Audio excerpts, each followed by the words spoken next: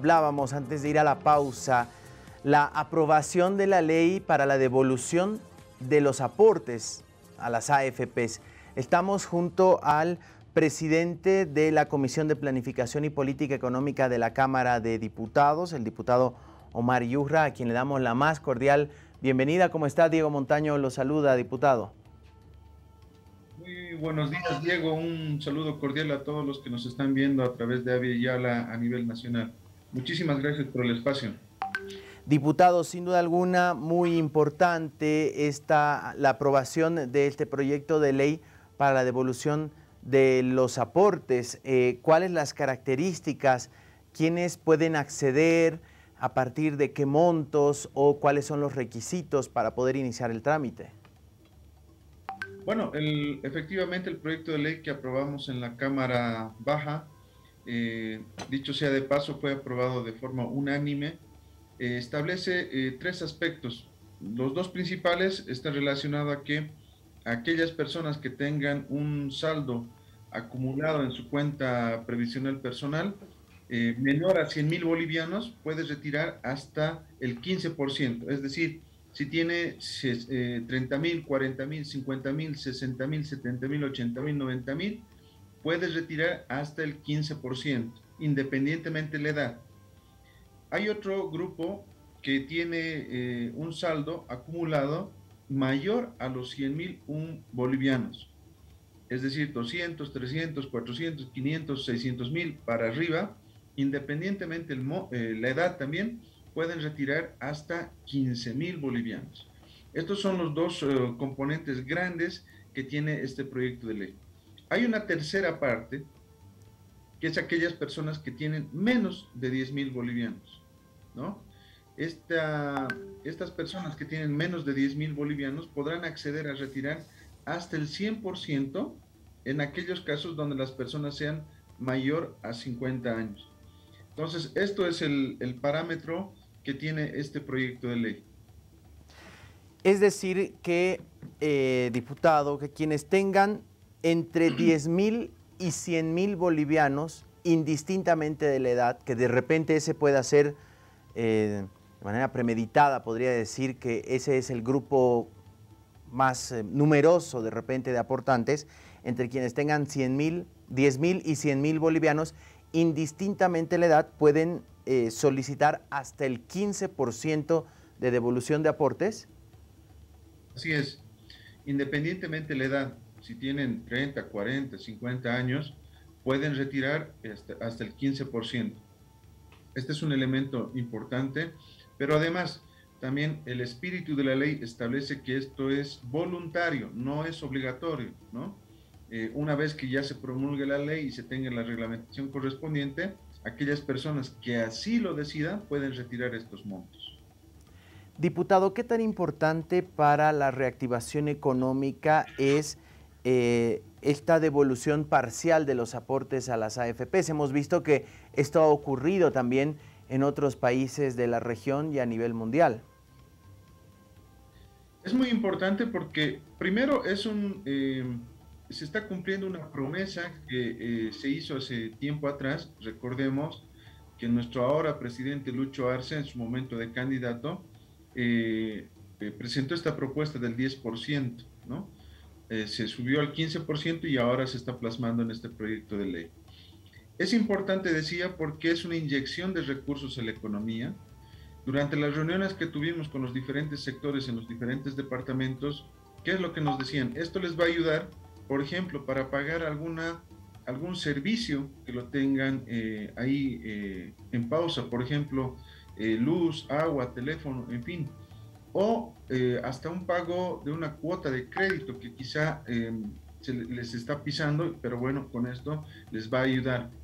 O finalmente, como nos decía eh, nuestro compañero Melgar, el, el, señor que hizo la caminata, nos decía, eh, me va a ayudar para un emprendimiento propio, decía, ¿no?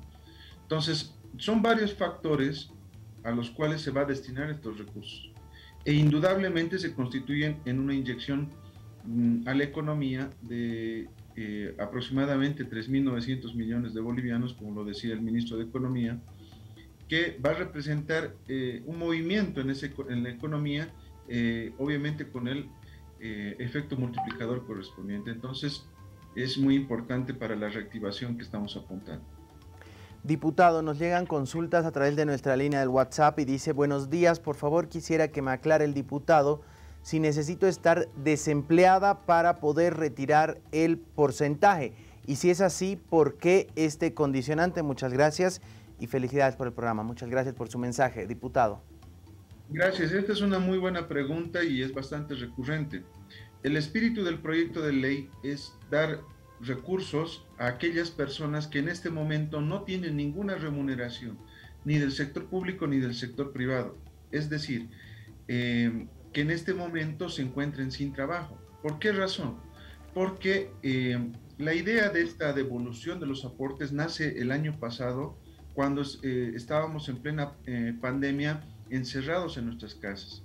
El desempleo empezó a, subir en el país, se triplicó, ¿no? Del 4 al 11,6% subió rápidamente el desempleo. No se hicieron políticas para contener aquello.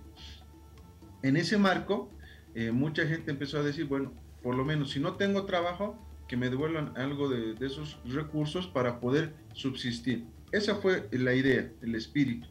Hoy en día estamos viendo con las diferentes políticas que estamos desarrollando, por ejemplo, el tema de la tasa de desempleo está bajando ya de manera paulatina. No estamos en los niveles eh, eh, antes del 2019, pero sí se está viendo una disminución. Lo interesante acá, desde el punto de vista de las AFPs, del, del sistema de pensiones principalmente, es de que el tema de las recaudaciones está volviendo a subir. ¿Qué quiere decir? que los aportes de cada uno de los asegurados que estamos en el sistema integral de pensiones eh, está incrementándose y eso significa que hay mucha persona, mucha, mucha gente que está volviendo a trabajar y está aportando nuevamente para eh, su jubilación. Entonces, ese es un indicador muy bueno para eh, referirnos a que de a poco el, empleo está volviendo al país. Y por tanto, este, nuevamente, el espíritu de este proyecto de ley es precisamente aquellas personas que en este momento no tienen ninguna remuneración. Diputado, nos llega otra pregunta. Buenos días, la TV. En este momento cuento con trabajo. ¿Qué pasa si me muero por pandemia? Mi pregunta es, mis aportes, ¿puedo dejar a uno de mis hijos? Gracias. Ya, eh, eh, esta también es una muy buena pregunta. No está relacionado con el tema en, sí mismo, pero eh, hay mucha preocupación de la gente de decir, bueno, yo he aportado y ese mi aporte se lo va a agarrar el Estado. Por ahí surgió algún comentario y eso como que se incrustó en, la gente. Y eso es incorrecto. una persona que ha aportado y que por alguna vicisitud, esperamos no suceda, fallece esa persona, esos recursos no se los queda el Estado, esos recursos pueden ser para los derechohabientes, ¿no? Es más, aquella persona que no cumpla los requisitos con edad de jubilación, también puede retirar esos recursos cuando eh, tenga la edad. Entonces, son varios factores que ya están inmersos en la ley de pensiones. Reitero, no es propio de este proyecto de ley de la devolución de aportes, pero ya está establecido en la ley de pensiones y hay que eh, verlo desde ese punto de vista. Diputado, eh, otra pregunta. Sacando el 15% de mis aportes, ¿seguiré recibiendo mi renta jubilatoria? Nos preguntan. Eh, hay eh, que aclarar este tema. Decía, aquellas personas que en este momento no tienen ninguna remuneración, de la misma manera, para aquellas personas que están haciendo su trámite de jubilación o ya están jubilados y están percibiendo eh, una renta o van a percibir una renta, no están al alcance de este proyecto de ley, porque precisamente esas personas ya van a recibir o están recibiendo un ingreso. Nos llega otra pregunta. Muchas gracias a quienes nos escriben y gracias, diputado, por irnos aclarando estos temas tan importantes y con tanta claridad además. Buenos días, una pregunta. Si mi esposo trabajaba hace años y ahora no en una empresa, ¿puede cobrar lo, puede cobrar lo aportado? La ley establece que, em, que las personas que en este momento no estén recibiendo una remuneración, es decir, que no estén aportando al sistema de pensiones son las que pueden acceder precisamente a la devolución parcial o total que está establecido en, la misma. Una última pregunta por la cuestión del tiempo. Muchas gracias a quienes nos escriben. Quiero saber si puedo hacer el retiro de mis aportes si dejé de trabajar hace un mes, nos escriben. Bueno, lo que se ha analizado eh, para evitar desinvertir en el sistema de pensiones y evitar dañar la liquidez del sistema financiero es eh, tomar en cuenta el nivel de recaudaciones. Y eso considera aquellas personas que no hayan trabajado el, último año por lo menos. Eso ese es, digamos, el, eh, el marco en, términos de em, espacio, digamos, que aquellas personas que en este momento no tengan alguna remuneración hayan dejado de aportar al sistema de pensiones. Diputado, quiero agradecerle por este tiempo junto a nosotros, habernos ido aclarando las dudas que surgen de quienes nos escriben también. Quedan muchas preguntas por leer, pero estaremos convocándolo en otra oportunidad. Muchas gracias. Eh, bueno, el agradecido soy yo, como decía hace un momento.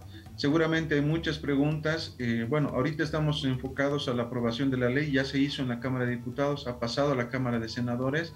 Una vez que se tenga la promulgación, se va a tener el decreto reglamentario, donde ya se va a tener eh, la operativa para que toda la gente eh, que tenga, digamos, las, las preguntas más frecuentes o, o, tengan algunas dudas respecto a cómo va a ser la operativa, se va a plasmar precisamente en aquello.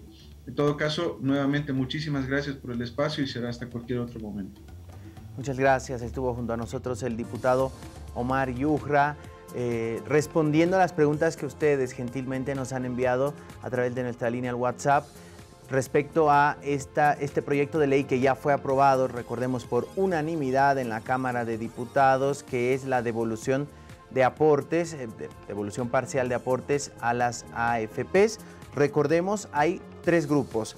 A quienes tienen menos de 10 mil bolivianos de aportes y tienen eh, más de 50 años pueden retirar la totalidad de sus aportes. Quienes tienen entre 10 mil y 100 mil bolivianos hasta el 15%, esto indistintamente de la edad. Y quienes tienen más de 100 mil bolivianos pueden retirar hasta 15 mil bolivianos, también indistintamente la edad. Esto una vez que entre en vigencia después de su aprobación en la Cámara de Senadores y posteriormente la promulgación por parte del presidente de Estado. Así que estaremos atentos haciéndole seguimiento a este tema.